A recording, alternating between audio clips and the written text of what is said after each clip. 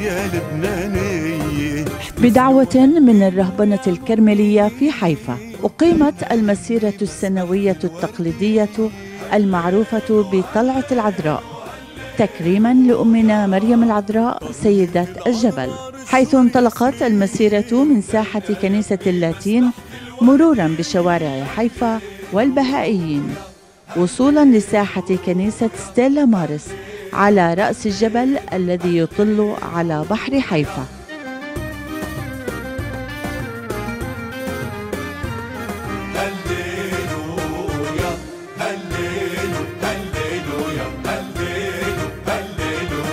وترأس المسيرة غبطة البطريرك بيير باتيستا باتسابلا وعدد من المطارنة والكهنة والراهبات والشمامسة.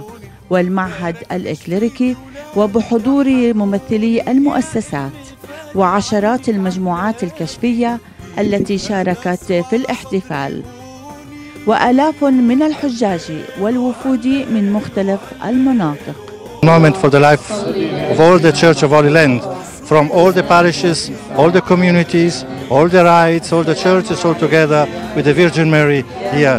Is a wonderful moment of unity of all the Christian community of Holy Land, thanks to the Holy Virgin of the Carmel in Haifa. أنا طبعا بشارك في المسيرة منذ الطفولة لأنه أنا ابن حيفا وخاصة لما كبرت شوي كنت أنظم مشاركة أولاد الخدمة من رعية مار يوسف للاتين. فطبعا هذا شيء مؤثر نشارك في هاي المسيرة مسيرة حول أمنا مريم العذراء. وطبعا لما كبرت كمان أنا كنت أهتم بكل الجانب الإعلامي للمسيرة واليوم يعني أعطيت المجال للآخرين. طبعا أنا بشكر الرهبنة الكرملية على تنظيم هاي المسيرة وشكرا للنور سات على التغطية في على الأقل على هذا الحدث اللي يعد من أكبر الأحداث عند المسيحيين في الأرض المقدسة.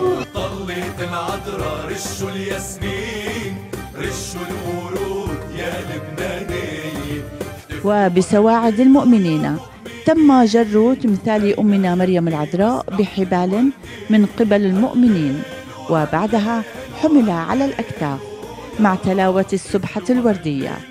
مهللين ومرتلين حييت ملكة السماء يا أمنا في ظل حمايتك نلتجئ يا مريم.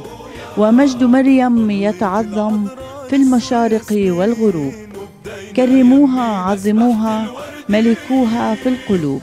يا مريم قلبك ينبوع الحب بتعين الموضوع يا مريم قلبك ينبوع الحب بتعين الموضوع صلي لابني يسوع. عن شعبه ما يتخلى صلي لابني يسوع. عن شعبه لا يتخلى نحن موجودين اليوم بصلوات واتحاد آه، للوحدة المسيحية. طبعا عندنا العذراء الصوفانية مثل ما أنتم شايفين هي ينبوع الزيت اللي السماء أملت علينا وأعطتنا بإكرامها عن طريق أختنا ميرنا الأخرس من سوريا من حي الصوفانية فاليوم إحنا مشاركين كمجموعة آه، بأفراح من العذراء لتساعدنا تعطينا القوة إحنا وهاي المجموعة اللي انت شايفتيها هنا. هذه المسيرة التقليدية التي استمرت لأكثر من ثلاث ساعات مشيا على الأقدام لتنتهي بصلاة وأخذ البركة من غبطة البطريرك والمطارنة والكهنة على وقع تراتيل أمنا مريم العذراء.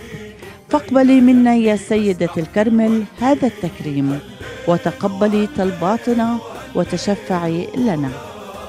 للنرسات مارلين الحدوى من ساحة كنيسة ستيلا مارس حيفا. مسبحة الوردية.